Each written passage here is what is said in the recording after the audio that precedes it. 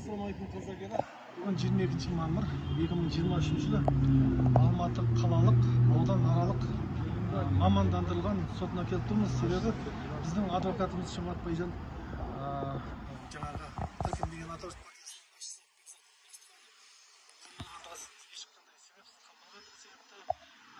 жаңағы апелляциялық қарсы шағым түсіргенбіз сол шағымның шешімі неге шықпай жатыр міне бүгін жиырма екінші мамыр он жетінші мамыр қамалса бүгін мысалы алтыншы күн.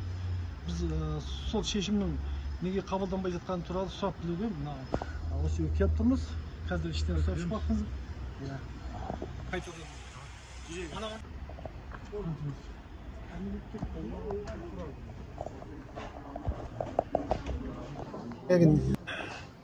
Иә ә, қазір біз мына ішке кіріп шықтық.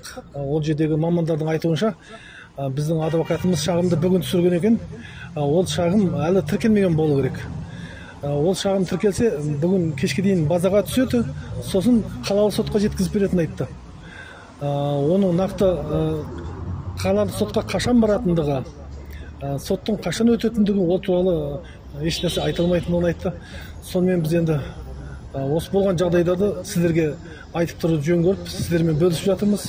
Алдыда қай күні сот болады енді құдай қаласа енді осындай жазықсыз елім жерім деп жүрген азаматтарды еш себепсіз со- соттата бермей қолдау көрсетейік бәріміз де сотына сотта жаңағы араша түсейік бостандыққа шығуын талап етейік аза- азаматтық пікірімізді білдірейік.